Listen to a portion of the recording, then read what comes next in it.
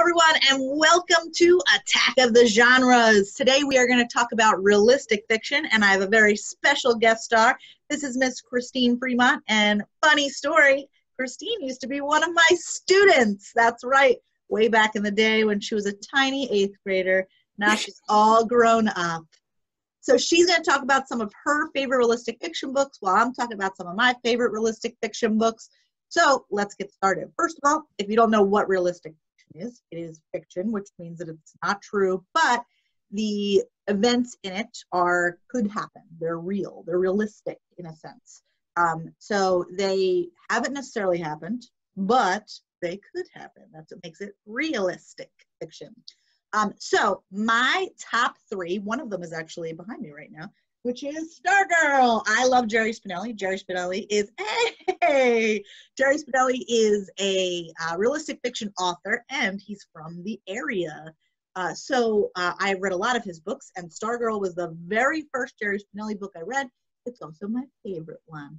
And um, for those of you who haven't read it, uh, Stargirl actually follows a boy and uh, they are in high school and it follows this boy and a new girl comes to school. Her name is stargirl she's very different and it talks about how she everybody else kind of treats her. She's kind of goes a good way and a bad way and there's some love in there you know. They did make a netflix movie of it. I did not enjoy the netflix movie but the book is very good.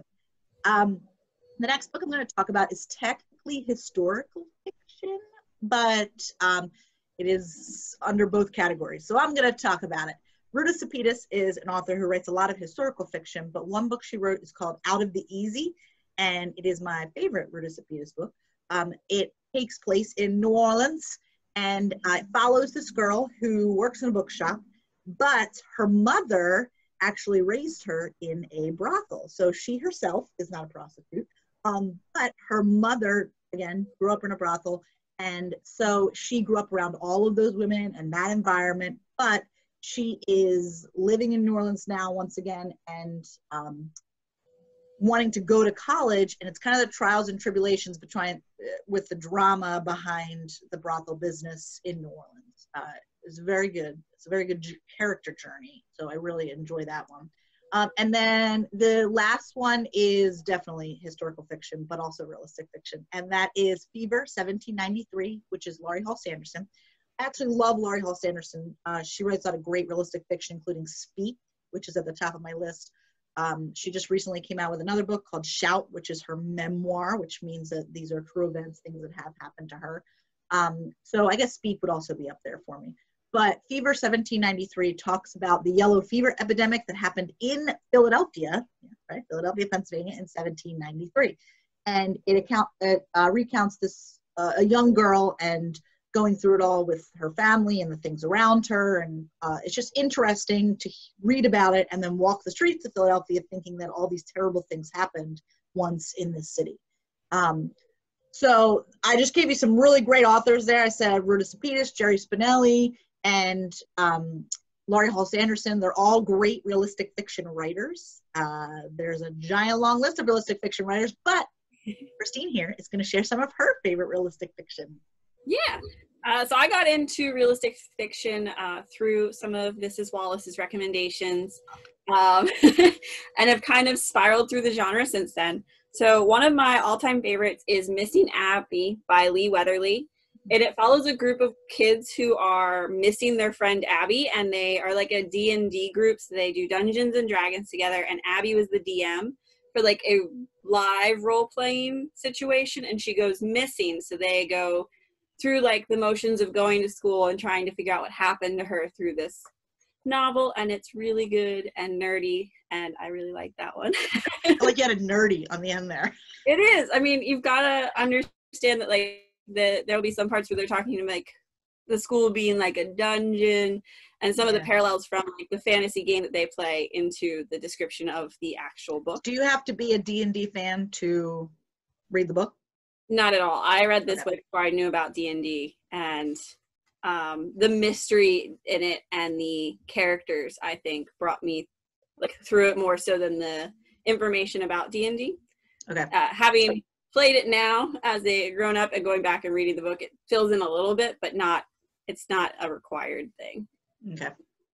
Uh, second one is it's kind of a funny story by Ned Vizzini. So this follows a young boy in Manhattan who is dealing with a lot of pressures and decides that his only option is suicide. And then he ends up in a mental institution and starts meeting all these people with their own problems.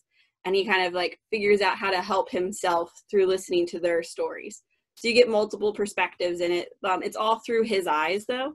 But like some of the chapters you'll learn about each of the different characters that he like sits down with while he's there and um, kind of his story on how he turns that around um, and like changes his life goals and stuff to learn how to help people and not so much uh, feel the pressure of the world on his shoulders. and then John Green, I, I love his writing. Some of his books irritate me, but I love the way he writes. Uh, Turtles All the Way Down is my favorite from him so far. Like I've read The Fault in Our Stars and Paper Towns and Looking for Alaska, but Turtles All the Way Down to me is a it follows a girl who has like a compulsive disorder and it explains like how she handles like anxiety and the things that she does and the way he describes it and the language she uses to describe what she's feeling i think are very accurate for how i experience at least some of my issues with anxiety and things. So it's very relatable the way he writes it and there's a mystery in that one as well. I don't want to spoil that one too much because it kind of drives the plot. Yeah that's actually on my summer reading list believe it or not. Oh i it's good I can let you borrow it. I, I, would definitely agree with you about everything you said with John Green. So uh, I have read him. What is your favorite John Green book besides outside of side of Turtles All the Way Down? Is that fairly recent? Probably pa- maybe Paper Towns, but I think that was more so again the relation with the characters in that one. Um, it was less driven. I feel like looking for Alaska and like uh, an abundance of Katherine and the Fault in Our Stars rely heavily on like that that romance initially, right, between the teens. But the one in Paper Towns, because he's always looking for like where she's going to go. I feel like that, and the friends are with him. I feel like the the the brother boy kind of bonding is a little stronger in that one, um, and it feels a little bit more like teens, and not so much like you know this other worldly experience that people go through. Yeah. Like a road trip to the middle Actually, I that's my favorite John Green book and I uh I bought it and I when I went to read it, it was missing 80 pages. like randomly in the middle, like published. Yeah. Like it wasn't like somebody like ripped them out or like you could tell in the binding that like it was a publishing error. 80 pages were missing. I was like, wait, like it didn't make sense. It was like the end of a chapter, but then like it started in the middle of a chapter, and I was like, oh wait, something's wrong. I feel like that's like a, a book you should keep, and you know, it'll be like the one of a kind publishing error. Oh yeah. Well, I do ha- still have it. Yeah. uh, I got a. I wrote to the publisher, and they sent me. And Barnes and Noble wouldn't refund me, so I had to go to the publisher, and the publisher gave me a new copy. There you go. Um, but yeah, I'm, I'm glad to hear you're a John Green fan too. So there's lots of great realistic fiction out there, folks. In fact, Christeyn, do you have any realistic fiction on your summer reading list? I have a ton. Um, I have uh, Openly Straight is on my summer reading list, and that's a um, a young gay man who then switches to a new public school um, where he's you know can be whatever he wants to be because nobody knows his backstory. Um, so I'm interested in that one just to see how the author handles that um, and like how he will come out a second time. Um, the Girls of July, which is our book yes. We're in a book club together, friends. uh, I just got that on Kindle to start, and then um, the statistical probability of love I started yesterday. Mm. So that is, it's a high school aged girl who's going on a trip to see her dad who is getting remarried, and she is going to meet a stranger, and you know those weird events that'll happen. Hopefully, uh, will be positive. Yeah. We'll find out. Um, yeah, those are the three right now that are like high on my list. I'm in a fantasy bubble right now, but my next realistic fiction book is one that I actually did a chapter one read aloud on, which was Stay Gold. It just came out. Um, so I am very excited about this one.